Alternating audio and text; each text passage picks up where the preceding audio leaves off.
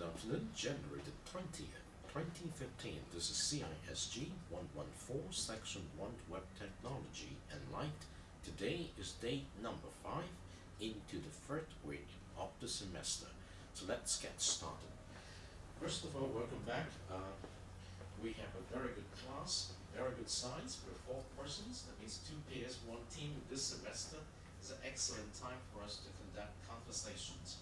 Now, if you look at the teacher's message I released yesterday, okay, and I talk about the importance of coming back to understand the GE program intended learning outcome, which I already explained to you on last class, and then the three important course learning objectives, which I have been doing in every class, and hopefully you can follow.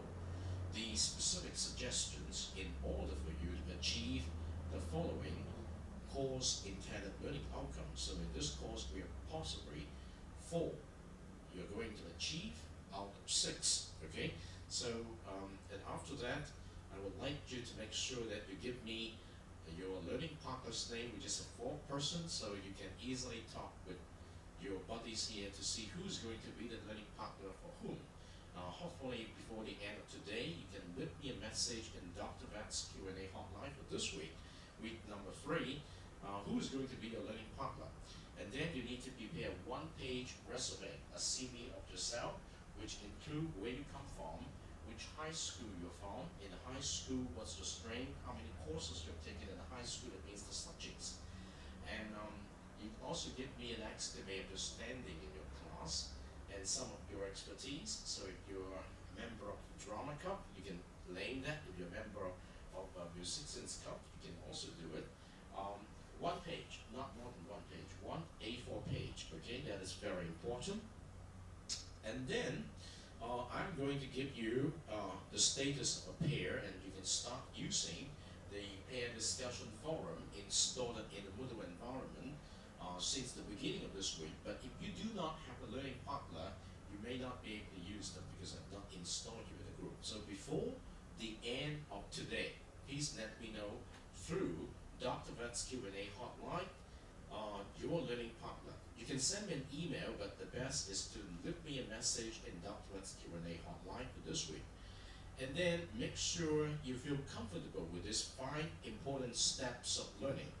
Uh, first of all, you need to do some reading, uh, be it watch a particular soft video. Then you need to do thinking, okay, in order to do some analysis. Read to understand something think to do some analysis and then reasons is trying to put things together to learn how to apply what you've learned and then share that meaningfully with your learning partner and then write something expressively into your blog, into a report. And that is what you're going to do repeatedly throughout the semester uh, in order to be developed in each one of you the ability to learn to learn, okay? And you can also visit the before class link, during class link, after class link, and with link. These are specific suggestions on how you can keep track of your learning throughout the semester. Okay, that's a very simple message, reinforcing what I told you in class, but making sure that I put it down black and white so that you know how to refer back to it. That is the course intended learning outcomes, very important that you need to start accumulating evidence of learning in the context of homework, the artifacts of your learning contracts, okay? So let's go back to this week. Now this week, this is week number three, um, we are still in the learning contract number one, and we are practicing inquiry-based learning, but when you look at the topics, we're going into module number two, talk something about ethics, and social responsibility. And module number three, the digital divide. And today we're going to have something in module two. And on Friday we go to the digital divide. But in the meantime, we also would like to come back to a little bit on uh, the study you did on week number two, uh, specifically on the digital nations. I thank you very much. Uh, most of you have already done the questions I mentioned uh, by watching this particular documentary. And there are altogether nine chapters there, remember. And what I suggest you do at the end of last class is you come with at least three questions after watching each chapter. So if you have done already watching the nine chapters, you should come up with 27 questions. 27 questions. And, and you know that um, if, if you visit the Public Online Discussions link here, we got already a lot of companies here who've done uh, the questionings, okay? So we've got a lot of questions already coming up here. Uh, excellent work. Um, uh, I have to comment on Jack's initiative, and then some of you have already followed up with that. Make sure you continue with that excellent effort. Okay, now without much ado, let me introduce you to the topics of this week, and particularly module number two, before we come back to watch the remaining of the explanations towards the end of today. Now, um, get ready for this very important context of ethics. Let me show you uh, a very typical video, okay? Ethics.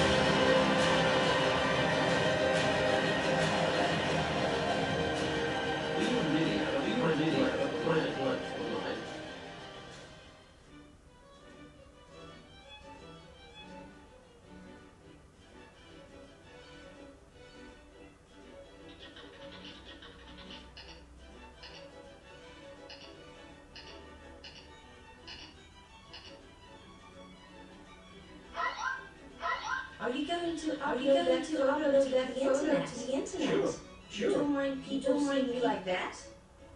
Do you think I'm, I'm stupid? My pictures can only be seen by my friends on Fiesti. How many friends do you have on Fiesti? 175. Are there other people in the photo okay with the picture being uploaded? Well, if just my buddies can see it, there's no problem. Besides, it was a party. If they let somebody take their picture, it can't be that big a deal. If you get your picture taken, it's to show it off, right? Okay, but how well do you really know all of your online friends? How do you know you can trust them? Well, I don't know all of them. Some are good friends, others are acquaintances. But I decide who makes the list. Right, but any of those 175 people can copy your picture with a single keystroke and then do whatever they want to do with it. Mm, well, yeah. Uh, I guess so. But what would they do that for? And if those friends share your picture with other people, Nah, they wouldn't do that. have you asked them not to? Do they know that you don't want other people to see that picture? They might think it's just a perfectly normal picture and that you don't care who sees it. Well, since you put it like that. But look, you, you're driving me crazy. You're paranoid. I already configured my privacy settings, and that's enough. What more do you want? And if someone sneaks into your private zone, Impossible. They need to steal my password. And I haven't given it to anybody. And I made it difficult to guess, just in case. Besides, I update my antivirus software all the time to make sure Trojans who can steal them won't get through. You're talking to a pro. and the other 175, are they also pros?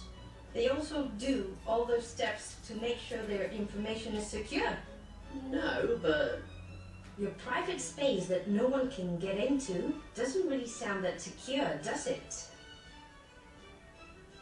in social networks, Your online privacy can be affected by others.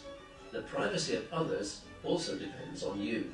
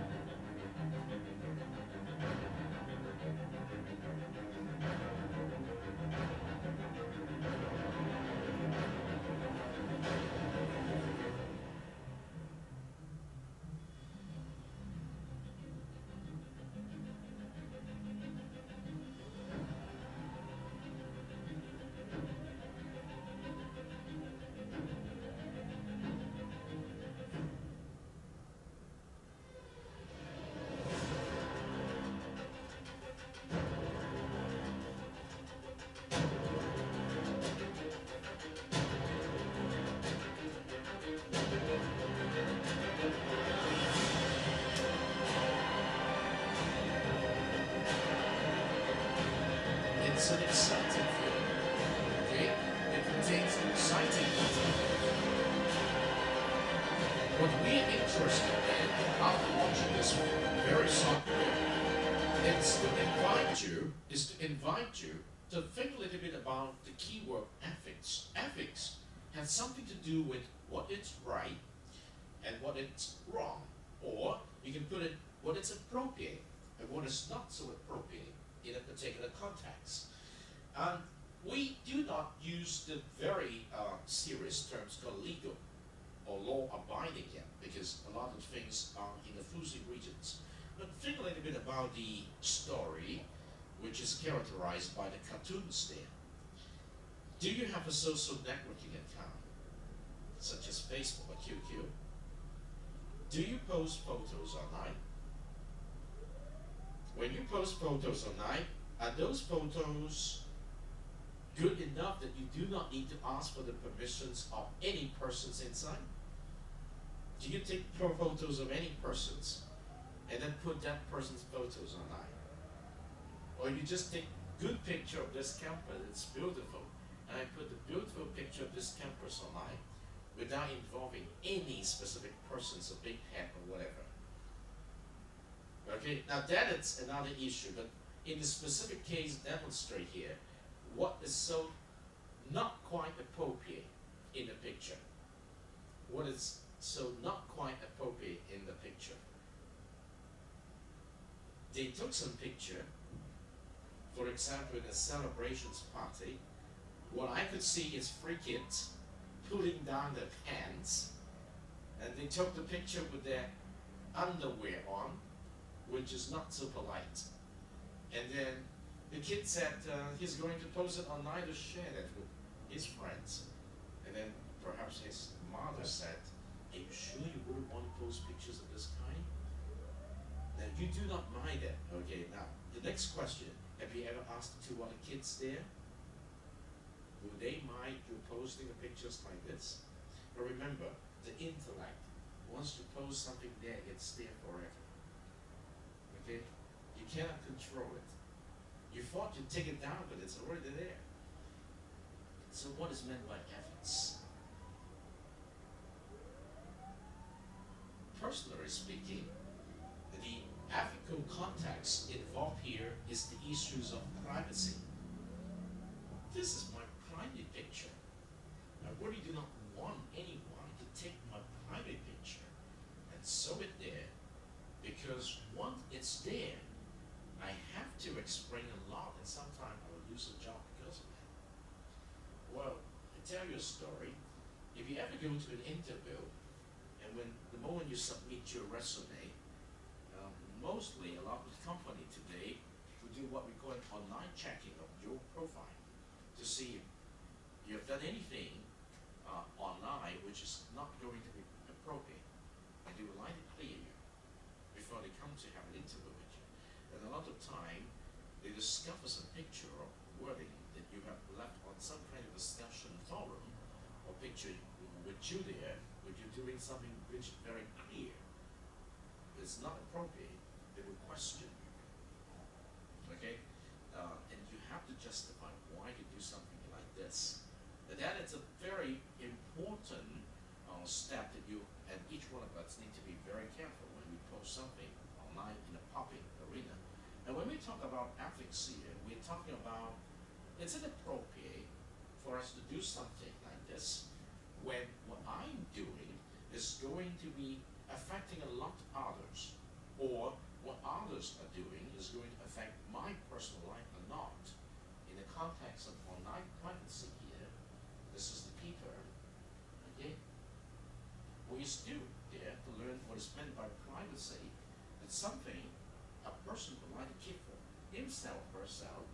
We should not temper anything to disclose that person's information without an explicit permission of a particular person. And that's why in Macau we have an office here under the SAR government, which is chief executive, which talked about the Office of the um, Personal Privacy.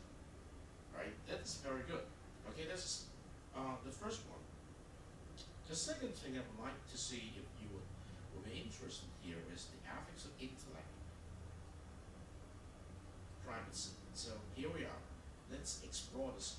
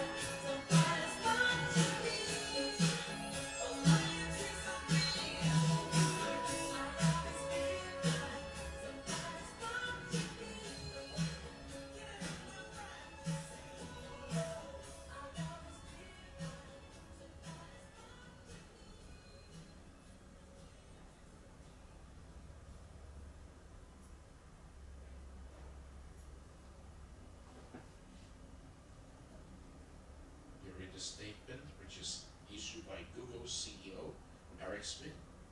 Do you understand a very key statement? What they say here is everything you do online is public by default and private by efforts. What does it mean? That means if you're not careful enough, you're leaking a lot of your personal data when you're using the internet, surfing on the web, using a specific website,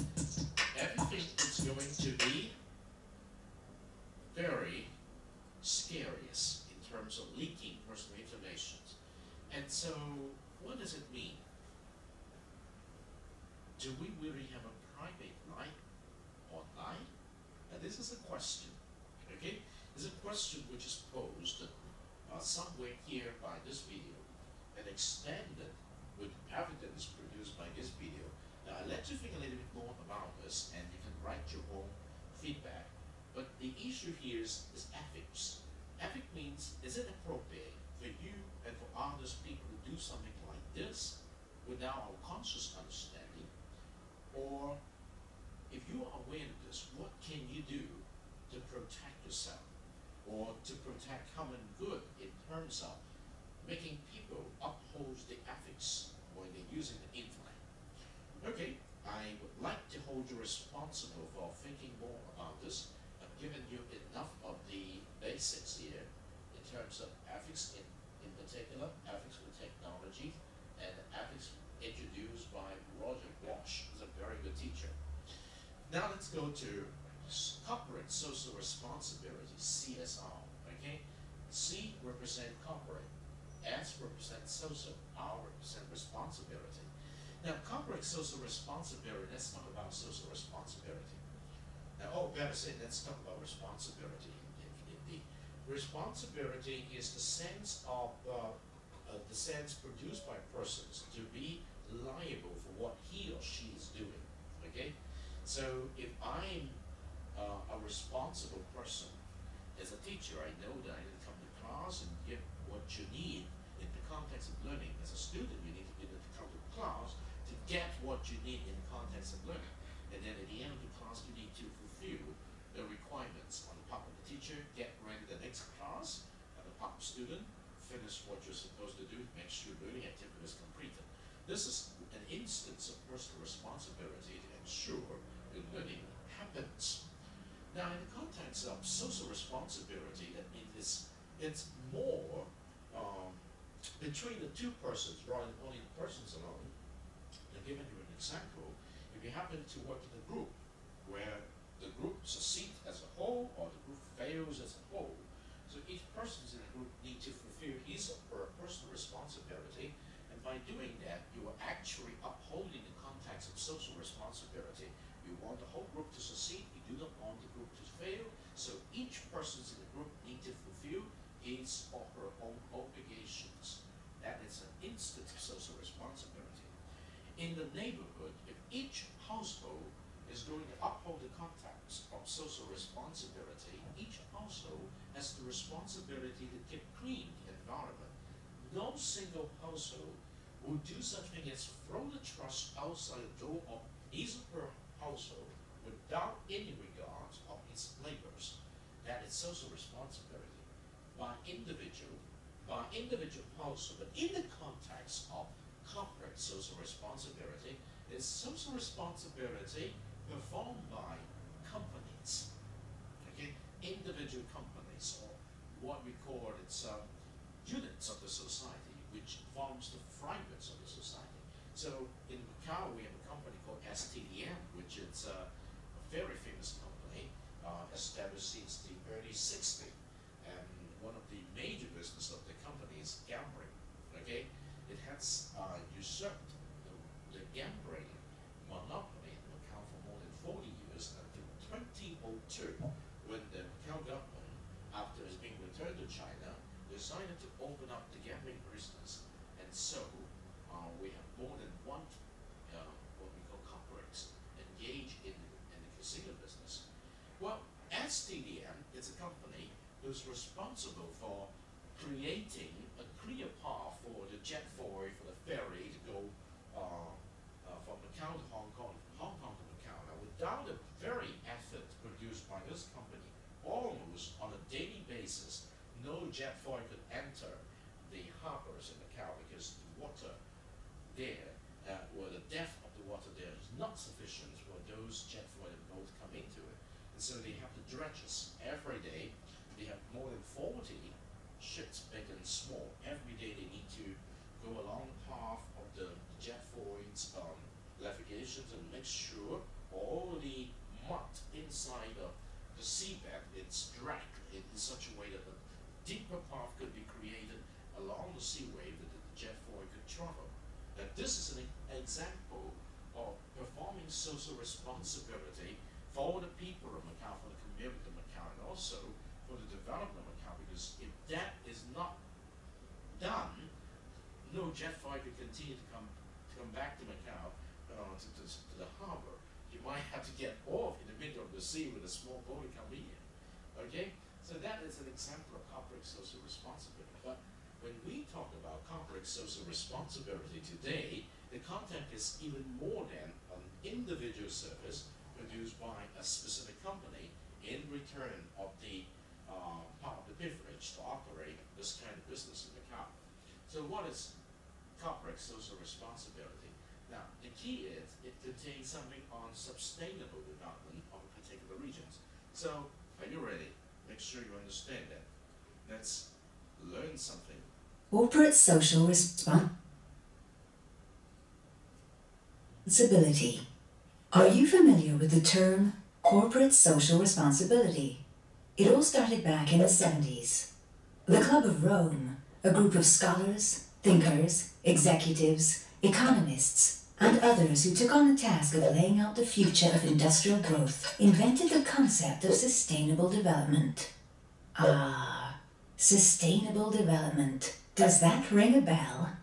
At a time when resources are becoming more scarce and the population is growing, the challenge now facing people, governments, and businesses, all of us in fact, is to find the most sustainable forms of growth possible. And today, the trend is unstoppable. 1972, the Stockholm Earth Summit set out a wide ranging plan for international action to fight pollution.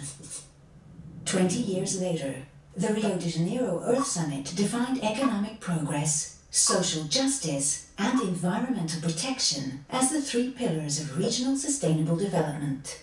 The basis for action by the business world in support of local communities was established. And all over the world, businesses have opened their doors to partnerships with local residents. They are investing money and taking initiatives in conducting and coordinating community support programs in the field and becoming a trusted partner in the process. Such businesses have put social responsibility at the heart of their strategy. Today, every company is asking itself, what practical steps can we take to improve the day-to-day lives of local residents? From a social standpoint, the company can work in each community to address local aspirations, assist with training, create local jobs, and give support to associations that are working towards the public good. In terms of economic development, the company can help develop a local skills network. By making its expertise or training resources available to local businesses, it can create a win-win strategy that promotes the local economy and yields access to valuable expertise. Finally, with regard to the environment, its task is to ensure that, as often as possible, its business activities take into account the need to protect and enhance local ecosystems. In addition to reducing its air, water, and soil emissions, the company can work with its employees to set up volunteer activities or take action to clean rivers, transform vacant lots into vegetable gardens, encourage reforestation, and teach school children about recycling. There's no limit to the steps that can be taken. With Alstom, local communities can count on CSR every step of the way. Take South Africa, for instance, where Alstom has been operating for over a century. This immense country has a truly critical need for economic and social development. Education is moving forwards with Alstom. In South Africa, access to knowledge is key to development. For Alstom, helping people broaden their knowledge means on a daily level providing access to vocational training, offering internships, career development programs, creating an academic chair in clean energy, granting scholarships, and more. but it also takes the form of a partnership with a Math Center, an organization that works to improve conditions for maths and science education in schools. Economic development is always a priority with Alstom. In South Africa, Alstom is strengthening local industry by helping to improve the skills of craftsmen and engineers in the energy sector. To date, 650 craftsmen and 175 engineers and technicians have received training. The result is that a new network of qualified subcontractors is emerging, able to meet Alstom's needs and those of the energy sector as a whole. And finally, with Alstom, the world has a partner in preserving the environment. Alstom is conducting projects in South Africa that are educating and training communities in ways that preserve their natural heritage. These projects include the development of environment classes. When children learn how to create a vegetable patch, recover waste, collect rainwater and so on, the school becomes a means of conveying how important the environment is for their living conditions and helps students carry that message to the rest of their family. These and many other initiatives are encouraged by proactive laws passed by local authorities. Through its actions, Alstom aims to contribute to social progress and environmental preservation by providing technological solutions that meet energy and transport needs. The group is assuming its responsibility with regard to its neighbors in the community.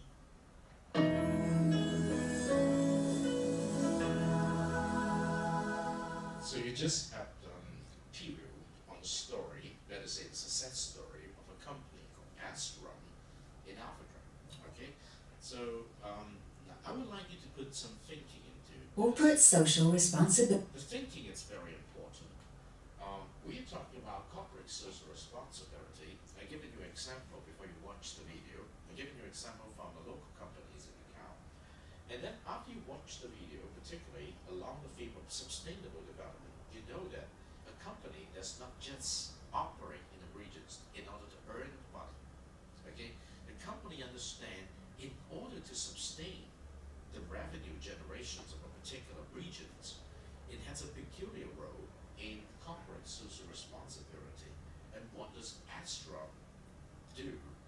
Basically, it look into what they could do to improve the living of people on their particular regions by bringing up not just the economic growth, but the quality of living in the context of educations, in the context of creating jobs, in the context of improving the environment, uh, in many different contexts. Now, may I just put this challenge to each one of you? We have four persons here, and maybe two of you from Macau and two of you from mainland China. And use your own hometown as an example. And you know something about your hometown. You know some business people are doing the business there. And what can you think of okay, for those business operating in your hometown to do a much better job than just earning what they're earning in the context of corporate social responsibility. Think a little bit about it. Suppose you're the person who's going to change a little bit your hometown for a little bit better, uh, for example, quality of living, by doing something similar to this, what can you suggest? And in the process of thinking, you need to identify what CSR is meant for that company and what CSR is meant for your hometown. And let me give you this challenge. Uh, we have, uh, I'll give you 10 minutes time to think, and then I see if you could come into some kind of discussions for another five minutes. So it's a 15 minutes exercise, okay? So you can can write something on a piece of paper, you can start talking with your member, but it's very important that each one of you do this exercise on your own. The sce- scenario is very simple. You study something about CSR, you are put in a position to explore the possibility of CSR in your hometown, starting from thinking what kind of business your hometown is process, and then what can they do better with your suggestions. Okay? It's very important. So in the meantime, let me finish taking attendance for today. It's your free time. ten minutes on your own, five minutes on discussions. On if you want to do discussions now, go ahead. It's all right. All right. You must do some exercise. Do you understand?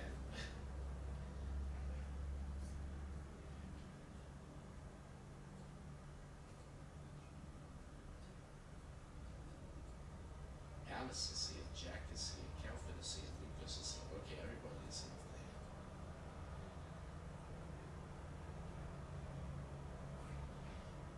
Yeah. Feel free to talk.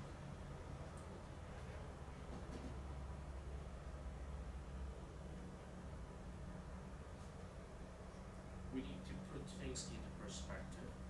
So we need to invite you think a little bit more on this video.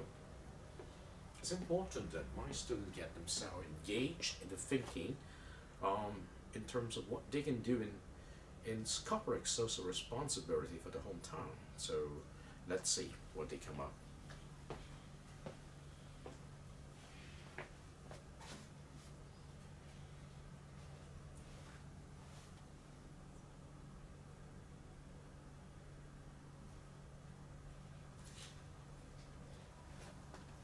Yes, feel free to talk to your neighbors. Uh, it's very important that you exchange some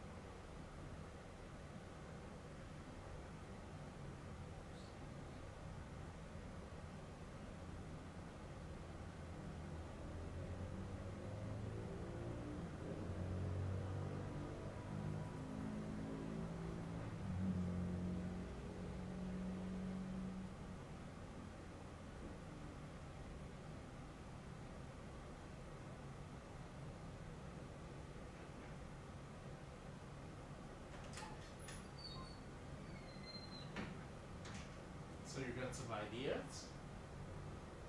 What do you think uh, corporate social responsibility could do for your hometown if you have a chance to introduce CISG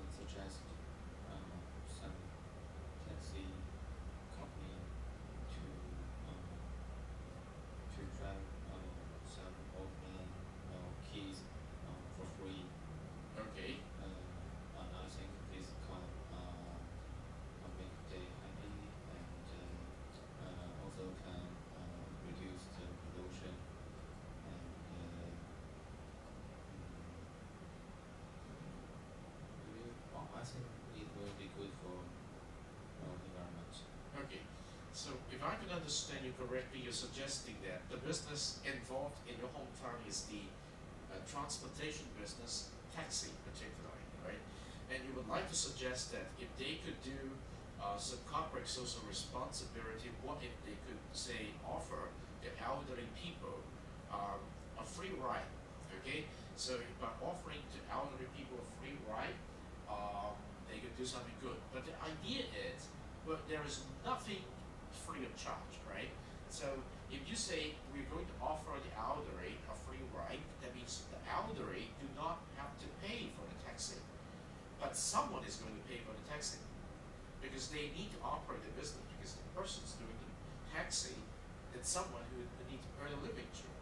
So the question is, if you would like to say, uh, let's think about corporate social responsibility in this hometown to offer free ride taxi service to the elderly people. So let's say elderly people with a specific permit does do not have to pay for any taxi charges. But it does not mean that the person driving the taxi who's making a living with taxi has has to do that free of charge because he has to he has to use that as to make his or her own living. So we need to think about another way to compensate the taxi driver or the taxi company for every free free ride they offer. Okay? Now let me give you an example in Hong Kong. In a very poor regions in Hong Kong, they call it Sam Sui Po. Okay? It's an old regions with a lot of the old housing and with a lot of the people living below poverty line. And so a lot of people don't have anything to eat. Okay, but they need to live. If they don't eat, they're going to die. Uh, in Hong Kong, in particular in Sam Sui Po, there are several traditional Chinese-style restaurants. We, in Chinese, we call it Siu Lap. There they, they have the roasted pork, the roasted chicken, roasted duck. Okay? Or better say the little restaurant. Uh, one of the owner of this restaurant has a very kind heart. You can see a lot of poor people there. So he set up his own business to um, to operate in two different particular um, directions. One directions, his food is going to be excellent, but people do not need to pay a high price. The other kind of service is if you're poor enough, as long as you got a charity meal ticket, okay, you can come here and eat your lunch of meal without charge. But how can the poor people knows where they got the ticket? Okay? So he did something like this. He trusts everyone. If you're really poor, you're hungry, you come here and eat. Someone will pay for your lunch in my restaurant. You don't need to worry about uh, the money. You just need to come and eat. So the next time, if you need to eat again, you come, but I give you a ticket. Okay? He will give the poor persons a ticket. And he will tell the persons where he could get those tickets. Okay? Now he is operating a small restaurant.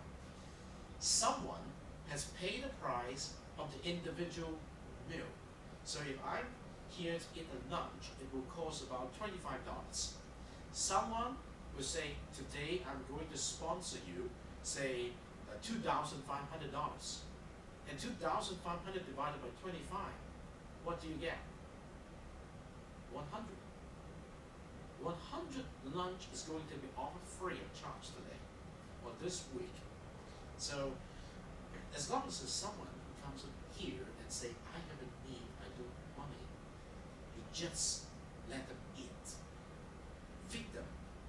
Okay? No question asked. Give them the best respect, just like any other customer. Okay? So, but who's going to pay? Corporate social responsibility in Hong Kong has done something very good. A lot of the uh, big restaurant and a lot of the people, even you and I can do it. We just go to that restaurant, we eat our lunch and meal there, we pay our price, and then if my price is twenty-five dollars, I will just lay, lay down twenty-five dollars plus.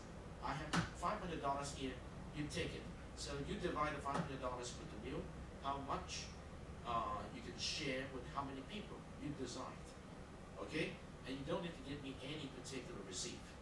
A lot of people understand this company will operate this way.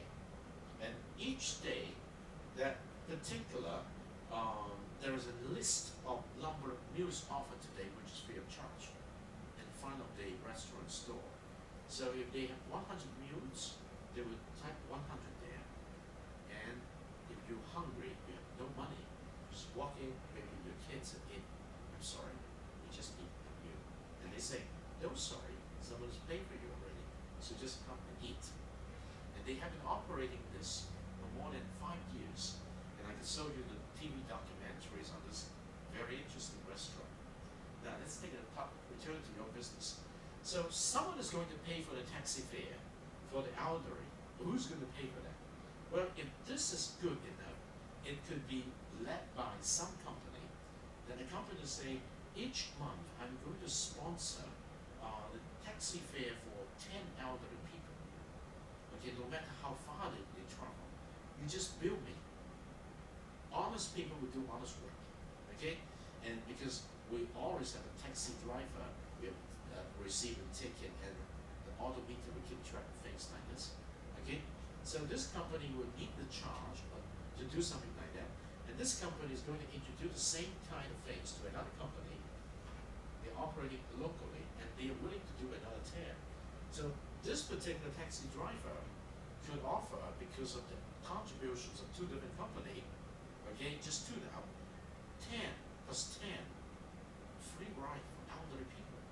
And the taxi driver could also earn his or her own living. Now, the system must be working in a much more um, check and balance manner to avoid taxi driver creating this kind of fear uh, with a lot of tricks. Okay, but that is another business. And so, what I mean is, when you talk about corporate social responsibility, you don't just talk about doing something for nothing. We are talking about you can always do something good for different audience, and you can always get something back from different people. And that is how the resources of society is going to run smoothly. But what's happening in China today is a lot of times we see a small number of people earning a lot of money without releasing the resources to other people who are really in need. So the rich get richer and the poor get poor because um, we do not see a lot of corporate social responsibility operating very efficiently here. But in a place like Hong Kong, uh, somehow in Macau, true, we see that uh, a lot of charity work works very well. Okay, but when we do not call this pure charity, we call this business talking business. You just operate as a business, but we have a mindset that different company supporting an initiative could sponsor this kind of things. So there is always kind of things working, and in order to organize better, uh, people who have a heart to hurt, uh, to help the society, we set up something called a social enterprise. Uh, social enterprise with a lot of emphasis on CSR. The purpose of setting up a social enterprise is to ensure that different company will have a chance to join the CSR movement in particular regions to ensure that they have different services for the needed. Okay, uh, this is an example of that. Let's see.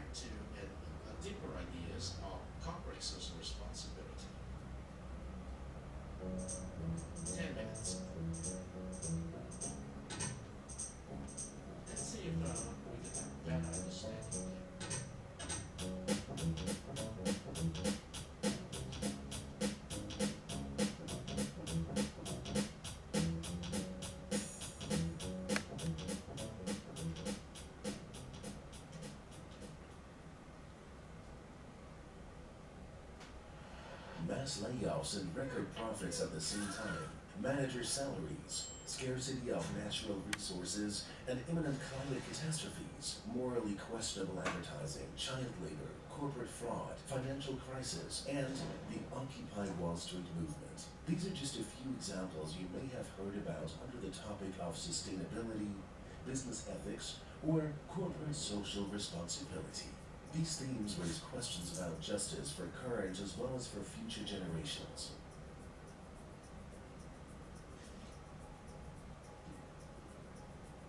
Want to ask corporate social responsibility, CSR for short, what is this?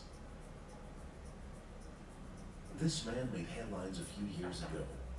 In 2004, Angelo Gulotti learned from investigators that he was chairman of the board of several companies set up by his employer, the Italian milk concern Parmalat. Angelo, however, had not even heard of those companies, and Parmalat was only responsible for the switchboard. Hmm, you can imagine how the story goes. Corporate fraud at its best, bogus companies, cooking the books, bribery, accounts in the Cayman Islands, the whole works. The task of corporate social responsibility is to prevent these and other morally reprehensible practices which can weaken society, damage companies, and hurt employees. More and more companies have realized the relevance of moral practices in their businesses, even though they have not always sufficiently implemented CSR yet. Concrete preventative measures are often labeled risk management, a term more commonly used for avoiding financial risks and damage to a company's reputation. No one likes bad press, right? Thus, companies define clear rules, so-called compliance or value management systems. For example, you can accept a bottle of wine from the supplier, but you have to pass up a golfing trip to Hawaii. However, risk and compliance management are only one aspect of corporate responsibility correctly understood. Firstly, CSR is not just about preventing bad practices, like corruption and fraud and so on. Secondly, this approach does not question a company's business activities as such. In fact, compliance management could be an efficient control mechanism even in organizations like the mafia. The more challenging question is, how can companies contribute to a good society through good business practices? Oh, that's easy, they say. We'll create a charity foundation or donate a lot of money and thus do good. Wrong. That won't hurt and may even help, but it's not systemic change. The important thing is, CSR is about how companies make profits, not about how they spend them.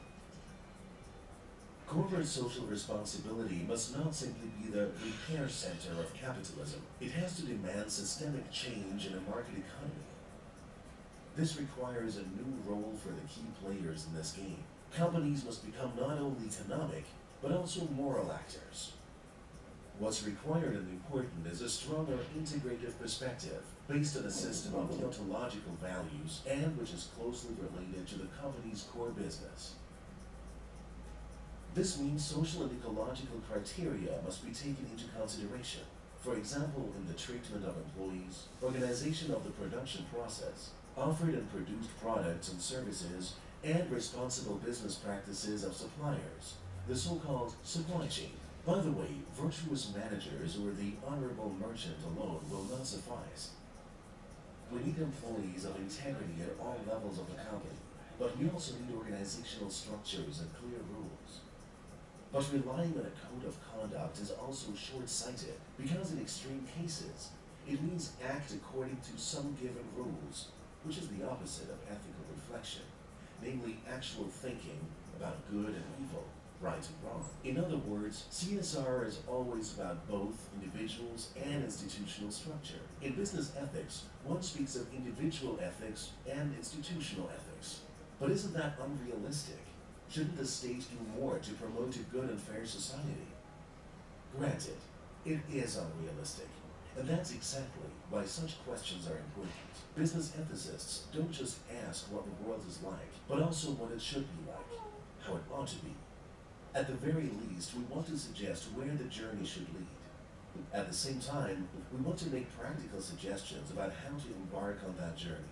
One speaks of questions of justification on the one hand and of implementation on the other, preferably in that order. The state, particularly through politics and law, can contribute to the implementation of corporate responsibility, but only within a limited range. If we look at society from a bird's eye view, we can spot different social systems the economic system, the political system, the justice system, for example. One can speak of the functionally differentiated society we live in. About 60 or 70 years ago, some German economist came up with an idea that led to the development of the social market economy as we know it, particularly in Europe. The thought that a market economy should be embedded in a political framework that determines the rules of the game.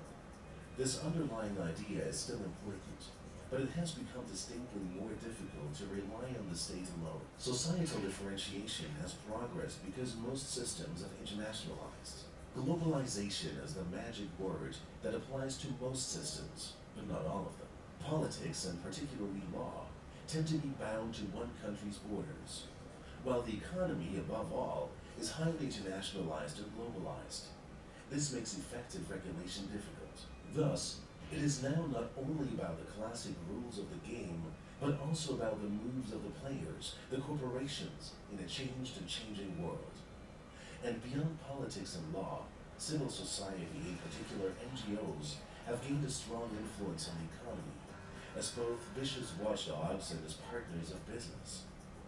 In the society of the 21st century, we find new, rather odd hybrid constructs under the notion of soft laws.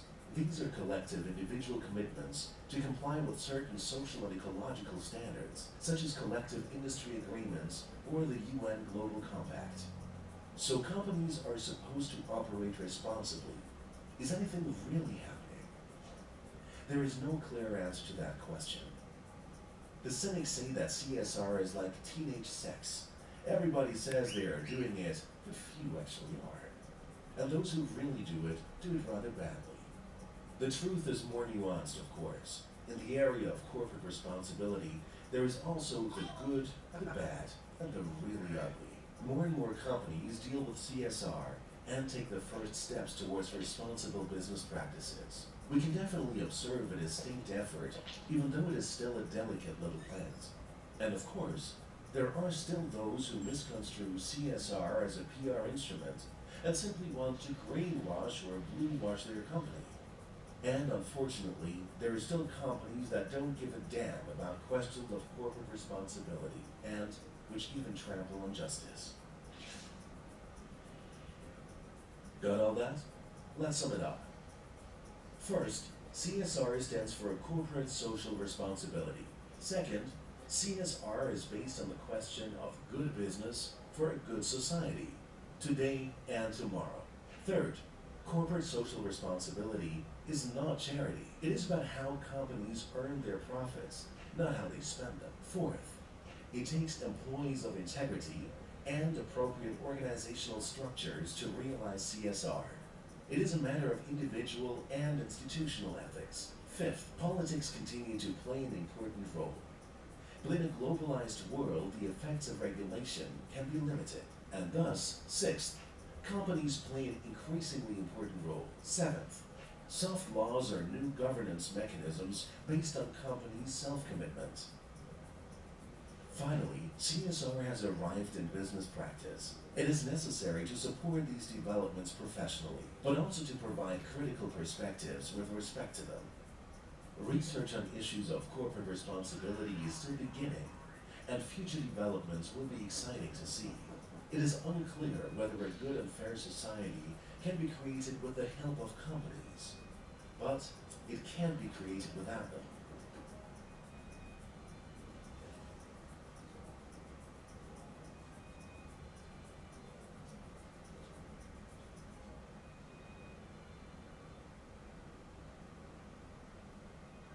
Oh, we almost forgot. Besides corporate responsibility, there is also consumer responsibility. You can practice that the next time you go shopping. And there may be more from us on that topic.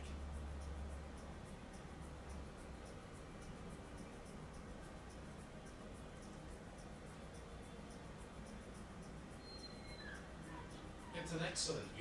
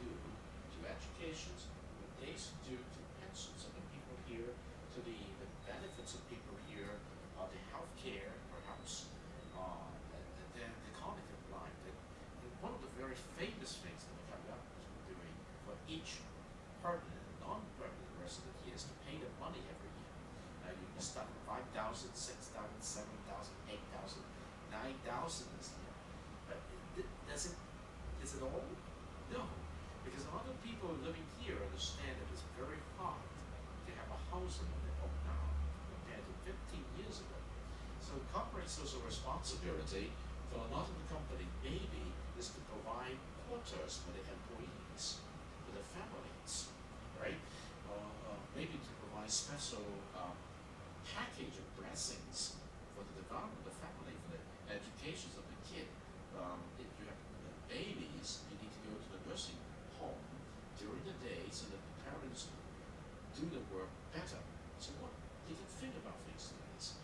So I think um, th- it's, it's quite enough for you to understand this more in the context of ethics, uh, in the um, internet era for internet privacy, and then for the CSR concept. And on Thursday, we'd like to come back to the digital divide concept. Okay, so before I let you go, uh, I want you to uh, review uh, the uh, Digital Nations chapter. I think this time is chapter four. It's just a couple more minutes. Okay, to sure that you have uh, something going on in your brain after you've done some questions there. Okay. Um, I try to do it just chapter by chapter to make sure it's easy for you to understand. So again, it's right here, 18 minutes.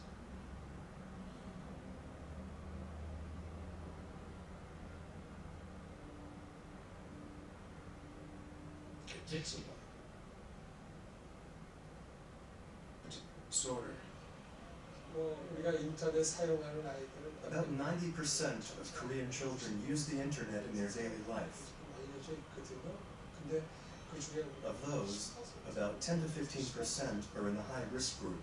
앱 리스크 그룹이라고 해서 Remember the very famous story in South Korea. What's now a public health crisis began with the best of intentions. Ten years ago, this country emerged from economic crisis by refashioning its culture and commerce around digital technology. Its embrace of the online world was broad and deep, and it's not altogether surprising that South Korea has become one of the first countries to confront the fallout of the digital revolution.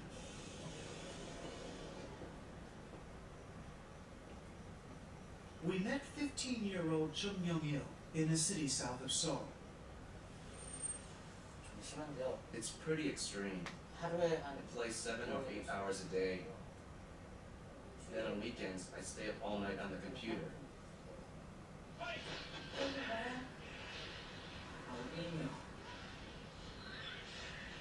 When Young Il starts a game, he doesn't know when to stop, and he just plays for hours. Over the last year, Young-il has dropped from the top half of his class to the bottom. His mother thinks it's because of the computer. I'm not sure, but I think he mostly uses the computer to play some type of fighting game. I wish those games didn't exist.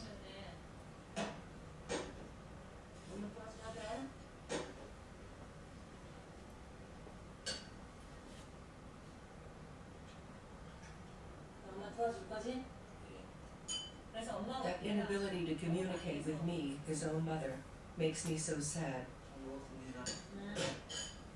I think if I can't control him right now, I may lose my son. This is an addiction. Only an addict could act this way.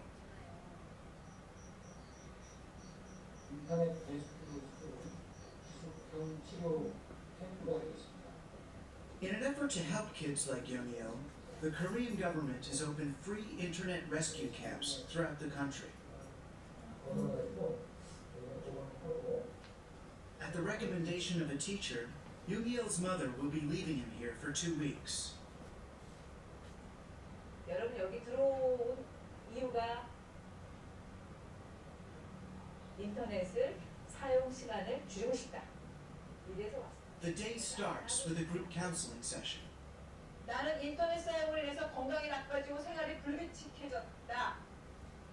제가 오인 오인 사람. 오 정보 뭐야? 오 정보 뭐야 거기가? Most of the kids here say they've had to seek medical treatment for conditions that resulted from overusing the computer, 눈 때문에 like eye strain and ear complications.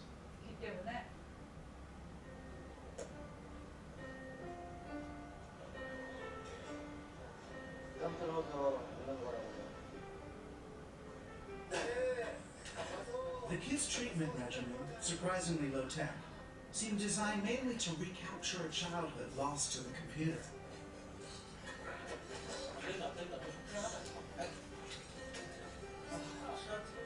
John! When you go home, will you start using computer again? Or will it be different? Honestly, I don't expect a lot. Not using a computer for 10 days was hard. I just kept thinking about the games, or about getting out of the camp and going home.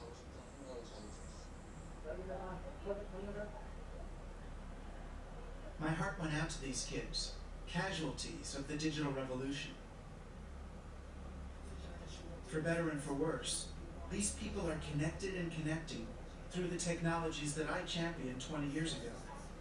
When I first started writing and speaking about a future I called Cyberia. His latest is called Cyberia. Douglas Cochran this morning in New York. Hello, Doug. Hi, good to be here. In the early days of the internet, it was easy for me to reassure people about what it would mean to bring digital technology into their lives. Are folks getting a little afraid of the technology because it's going so quickly? Are we going to be left in the dust, or can we keep up? Well, I think people get scared as things develop, especially when they. Back then, I was convinced the web could help us change in profoundly good ways, allowing us to evolve into better people. I'd like to introduce you, Miss Tobin, to the new me human being. Here he is. It's, it's a new human being that's that's evolved, I think, to the next level, and I think it's I think it's fascinating and wonderful to watch. I felt like I was in on a secret, that these old fuddy-duddies were just panicking, underestimating our kids' ability to adapt to the new reality before us. You're actually moving around the pixels yourself on the screen. Over the past 20 years, however, the net has changed from a thing one does to the way one lives, connected all the time. And it appears that far more of these kids than I would have thought are overwhelmed. 인터넷이 텔레비, 텔레비전보다 더 좋은 점에 대해서 배웠지. 자, 그거를 The Korean government has taken an assertive approach to addressing the social problems caused by the net. 밑에 보면 등록하기 있나요? At Korean elementary schools, kids are taught to go online around the same time they are taught to read. 그러니까 인터넷 쓸 때는 앞으로 어떻게 써야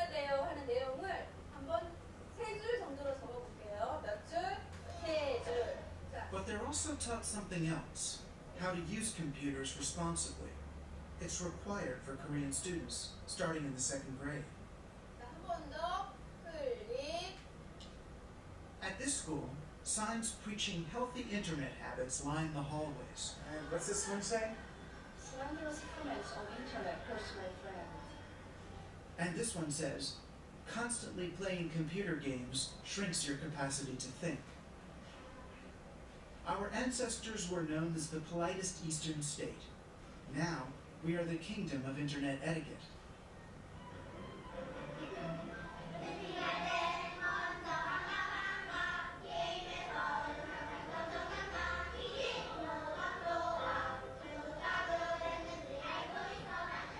When a child is just six years old, what's the most important things they need to learn about the internet? 어, 기술 교육보다는 I think they must learn ethics first, internet etiquette and manners, and then learn the technical side. Watching these kids, I'm skeptical that this top down approach could ever work in America. I guess we'll have to find our own way.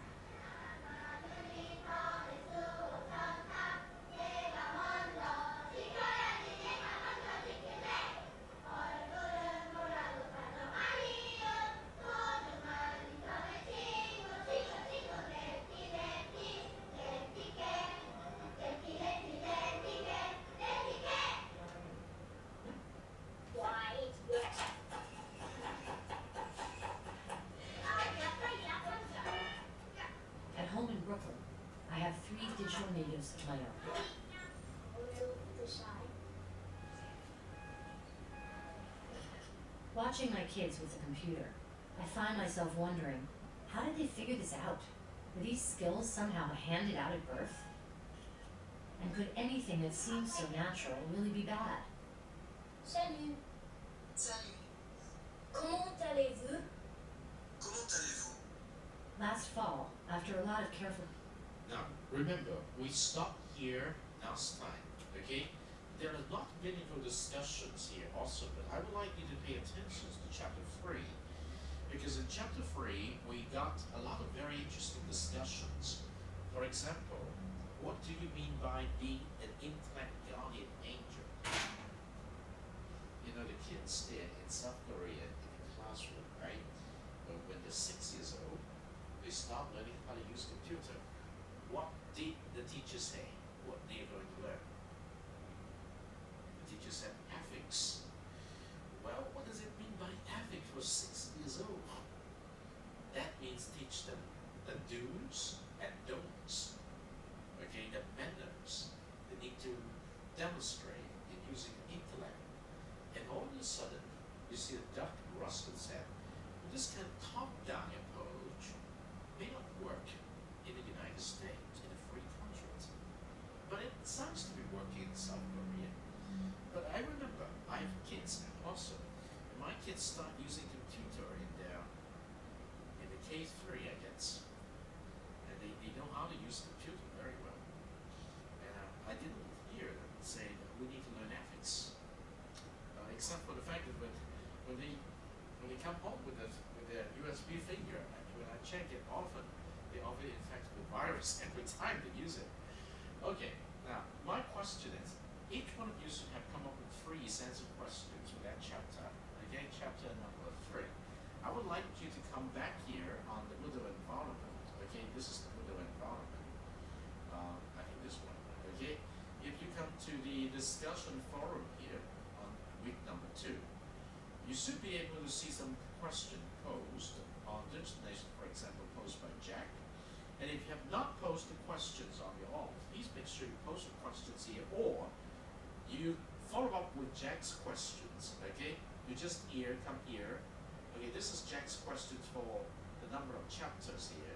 Okay, now just look at chapter number three. Okay, and this is the three questions posed by Jack. I would like each one of you to respond to Jack's posting here and to respond by posting your three questions for chapter number three only. Okay? The chapter on South Korea's gaming crazy. Okay? And I would like to compare your questions. Can you do that? Jack, you do not need to do anything except that you may respond. Alice, Calvin, and Lucas, okay? make sure you watch chapter three and post three questions of your own. This is something very important. And may I may I remind you, I hope that you can give me the information of the learning partner before the end of today by writing me a message here on document Q&A online week number three. Okay? It's very simple. You just pick one. Okay? And then I'm going to install you in a group so that you can start using the pair online discussion forum. So before the end of today, each one of you message here, say my learning partner, and then type the information of the learning partner. Okay? The way to type it is very simple. Remember, under uh, week number two's message, okay, we have a table here you can copy. Okay? You just copy this table, paste it into Dr. Webb's Q&A hotline, and type in your name your partner's name, student ID, and so forth. Okay? Each one of you need to do something like this so that I can install you into the peer discussion forum. So I think that's it for today until this first day we come back to the digital divide. And put a little bit more thinking into the corporate social responsibility email. Okay, it's going to be very useful. All right, I see you on first day. Thank you.